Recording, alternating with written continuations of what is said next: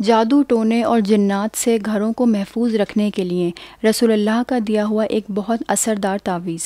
रसूलुल्लाह के एक बहुत मोहतरम सहाबी थे, जिनका नाम था अबू दुजाना अंसारी। एक बार इन्होंने अपने घर पर एक बहुत डरावनी चीज़ को देखा तो रसूलुल्लाह को आकर मस्जिद नबवी में बताया। तो रसूलुल्लाह ने उनसे कागज़ और कलम ला कर देने को कहा और मौलाए कायनात इमाम अली इबन अबी तालिब से कहा कि, ए अली, मैं एक तावीज़ बोलता हूँ, आप लिखें।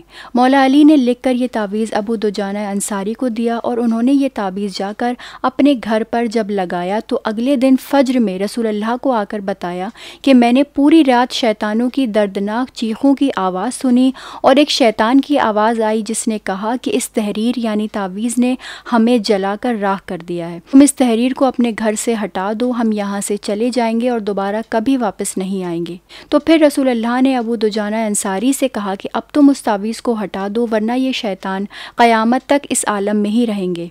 इस तावीज़ का पीडीएफ का लिंक हमने स्टेटस पर लगा दिया है। आप लोग इसका प्रिंट लेकर लैमिनेशन कराकर अपने घरों में लगा लें। इन आप और आपकी फ़ैमिली और आपके घर बुरे असरात, जादू टोना और शैतान से हमेशा के लिए महफूज हो जाएँगे।